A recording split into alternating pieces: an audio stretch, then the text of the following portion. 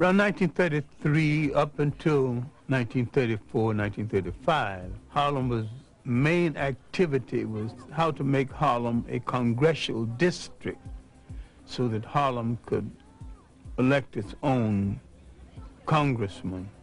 Adam Powell was just began to show his weight.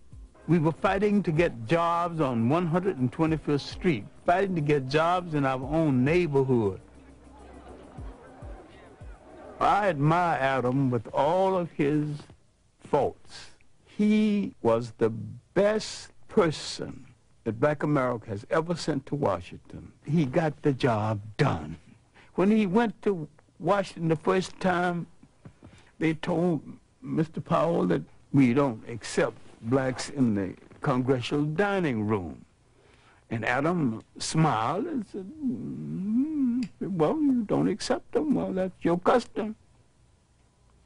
The next day, Adam got the tallest and the meanest looking and the blackest of the blacks he could find and marched them into the congressional dining room as his guest and got away with it.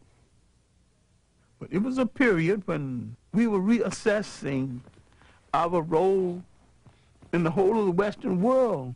We were tuning into Africa as much as we could and having African forums and making a serious study of African history. Black men wanted to go to Ethiopia and fight on the side of the Ethiopians, but America would not give them passport and let a single one leave the country for that purpose. And yet, Italians could get passports to go and fight with Italian forces against Ethiopia. Now later, some of the same black men who couldn't get permission got permission to go fight in the Abraham Lincoln Brigade in Spain. I'm a physician. Physician. And then why would you want to go over in Ethiopia? Well, I feel it's my duty to give my profession and, if necessary, my life in the cause of Ethiopia. And I desire and be happy to die for the defense of entire Africa, including Abyssinia. That's fine. Sign right here on the dotted line. See, originally, Africans did not define themselves by continent, but more by regions. Africa as a continent began to be defined by foreigners. In North Africa, the Romans had a province called Afrique. The word became Africa. The history, both known and hidden, of the land where time began has been a primary focus of Dr. Clarke's scholarship throughout his long career. The concept of social order, the concept of an organized society came out of Nile Valley civilization before there was any other society that has been known to man functioning any other place in the world. The significance of Nile Valley civilization is that it was that civilization that set a standard of performance untouched by the other civilizations of the world. And people are reluctant to give an African credit for a creation that happened in Africa. They also forget that the Nile Valley stretches 4,000 miles into the physical body of Africa, and that it was the world's first cultural highway. For centuries, Eurocentric scholars had rejected the idea that the mighty Egyptian empire was in fact created and maintained by black Africans. The concept that Western civilization was the product of non-white intelligence, imagination, technology, and spirituality was unacceptable, both psychologically and politically. A brilliant Senegalese scholar and scientist would shake and many say topple the very foundation of that conventional wisdom. His name was Cheikh Anta Diop. His research was brought to the attention of the English-speaking world through the efforts of his longtime colleague and friend. I was wondering why his books had never been published uh, in the United States. He said there was no publisher's interest in his books. It took me seven years to interest the publisher in the books of Cheikh Anta Diop. Diop's disciples refer to him as the Pharaoh of the Upper Nile. You must be strong enough and serene enough de voir les faits historiques to see the historical facts et de les interpréter and to in, interpret them. Euh, nous pouvons tous être passionnés, We can all be impassioned, mais ce n'est pas de cette manière que nous résoudrons les problèmes complexes de l'humanité. but that is now how, not how we will resolve the very complex Donc cette problems of domination humanity. dont nous souffrons, dont j'ai souffert moi-même, The domination that we suffer from, that I have suffered from notre myself, propre domination des autres races l'a précédé. our domination of other races preceded it. Donc l'Afrique a exercé un impérialisme continu pendant 4000 ans. For 4,000 years, black Africa had an imperialism, Toute l'Afrique occidentale était conquise et était justement sous la domination noire. all of Western Asia was under the, domin- under the domination of blacks. On n'aurait pu jamais penser à cette époque-là que la situation pourrait un jour être renversée. And at that time, no one would ever have dreamt that the situation could be reversed. c'est pour ça que l'étude de l'histoire, l'étude de l'histoire nous redonne la sérénité pour This is- les faits et les relativiser. This is why the study of history gives us the serenity required to appreciate the facts as they are. 1974, he would challenge the major scholars of the world on the concept of Egypt not being anything other than an African state. In the conference on the peopling of Egypt, leading scholars of the world met and debated. Most of them wanted to put Egypt's origin outside of Africa.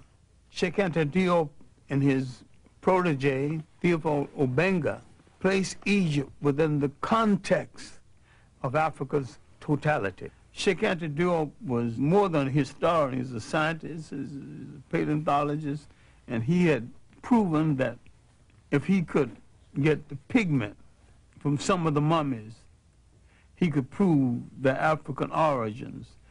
All the rest of the conferees came just to disagree, and when it was all over, they had to admit these two men came prepared to prove their case. At that point, they began to close the door to the research of Cheikh Anta Diop.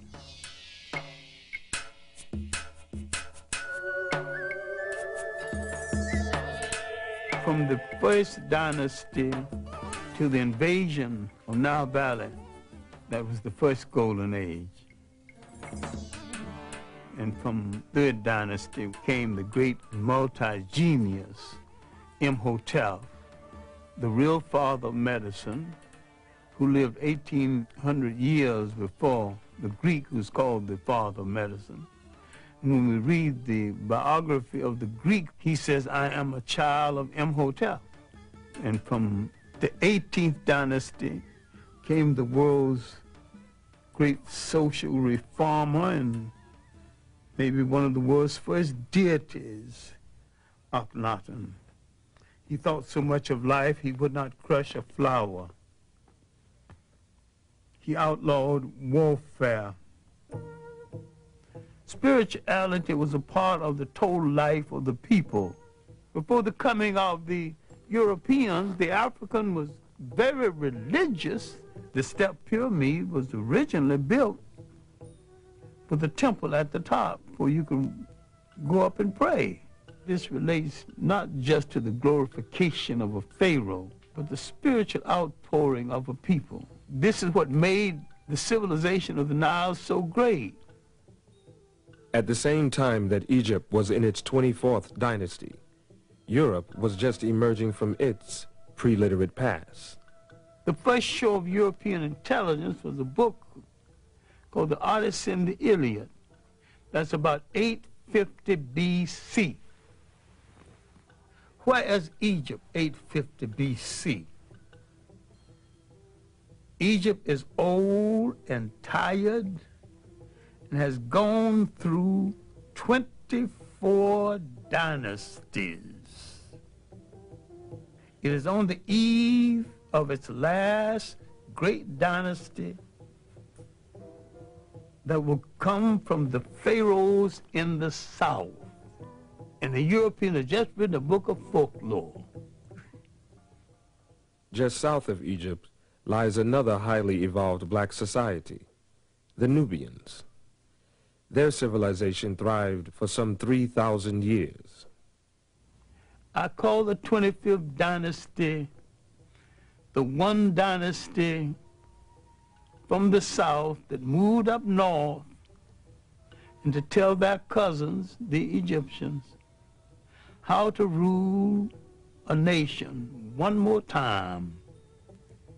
In the great show of history, this was Africa's last walk in the sun. It was a great and mighty walk. That walk had lasted 10,000 years. Now it's coming to an end. Europe is just being born. The very word Europe is not even being used.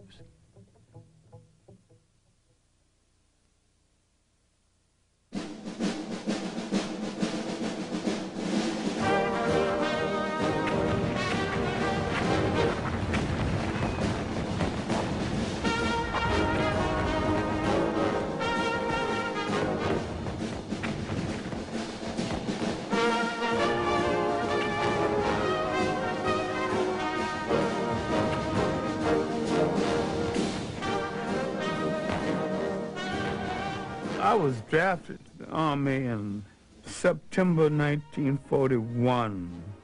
I can say with certainty I was probably one of the best clerks, one of the worst soldiers the Army ever had. I couldn't shoot, didn't like the hot sun, didn't like to go on those all-night trips, but I was a wizard of administration. I made sure my men got what was due to them as soldiers and men not as black men, but as soldiers and men. After I returned from the Army, it was not so much as finding myself again as a Pan-Africanist, but redefining myself as a Pan-Africanist. Remember, we had participated in a war that we were cynical about in the first place, and having participated in this war on a Jim Crow basis, getting out of the war, and there wasn't the employment that we had hoped would be there, I began to think more and more about the fact that African people would have to depend on themselves. Pan-Africanism would be perceived as a way to end African dependence on colonial masters a way to create free and independent nations, a way to transfer the continent's immense riches from the hands of invaders into those of the indigenous people of the land. I began to define Pan-Africanism as the building of an African world community, the union of African people in different parts of the world, the African population in India and the Pacific Islands, the African population in the Caribbean and Brazil and South America. And I was looking to the fact that we number a billion people on the face of the earth. If you put them all together and they did one thing in unison, even if it was wrong, it might alter the world. Africa has always been and still is the world's richest continent. Africa has always had things other people wanted, thought they couldn't do without, and didn't want to pay for. So therefore, there's always been an excuse to invade Africa. Alexander's invasion was the first purely European invasion of Africa. Everything that had happened in Egypt and in Africa before 332 BC was something that no European had anything to do with. Now we see the beginning of European occupation, and we see it as aggression, not bringing civilization, but destroying civilizations that it did not understand. The uninvited arrival of European armies in the Upper Nile Valley signals the beginning of the end for the highest civilization the world had known. The conquerors, quite literally, changed the complexion of the conquered. Now you're beginning to get a mulatto-sized population that a whole lot of people keep misinterpreting as white. With each one of these invaders came the bastardization of the population based on the fact that for the sake of pleasure, the foreign soldier heads for the female population at a time the male population has been defeated in war. The Greeks' rule didn't last that long before they were challenged. An ambitious and well-dressed bunch of thugs across the ocean, not very educated, but they could fight like hell, called Romans, began to have ambition for the trade in the Mediterranean. Carthage, a powerful black state in North Africa, had imperial ambitions of its own. By the 3rd century BC, its forces had crossed the Mediterranean and established a large province in Spain. The military commander of Carthage had apprehensions about his Roman neighbors and warned his son to keep a watchful eye. Hannibal's father, he would point across the ocean and said, there's some evil people over there. We better bring the war to them before they bring it to us. Hannibal never forget. Hannibal is only 26 when he takes charge of the army. He launches an audacious military adventure, leading his men and their elephants over the Pyrenees Mountains into France, then pointing them across the Alps, boldly, toward Rome itself. Heavy casualties, overextended supply lines, and defection of allies drive Hannibal off the soil of southern Europe. He retreats back home to Carthage. The Romans have made a mission, almost a cult, out of the destruction of Carthage. They would meet each other in the mornings. Good morning, Roman citizen. Carthage must be destroyed. Yes, of course, Roman citizen. Carthage must be destroyed. Rome's legions clash with Hannibal near Zama. His troops are defeated. Hannibal is sent into exile. His once mighty nation becomes another colony of Rome and an administrative center for their empire. Now, the Roman Empire internally was not very rich. Africa became the breadbasket for the Roman Empire. And except for Africa, the Roman Empire would not have been able to sustain itself. Now, the Roman presence in North Africa is going to force into being one of the great events in human history. Roman taxation, Roman oppression would cause people to turn to new gods and question old gods, to turn to a story about a God who comes forth to rescue them. Now they would draw from African folklore the story of the child in the manger. And what am I saying? Later, in retrospect, he was referred to as Jesus Christ. Now, you can argue about the coloration of Christ if you want to, but I can sell that very quick and we can go on to the next subject. Was he a Roman? The answer is no. Was he a Greek? The answer is still no. These were the only European types in that part of the world at the time. If he was neither Roman or Greek, he was one of those other people. And all of those other people were non-European and non-white. and he came from the other people.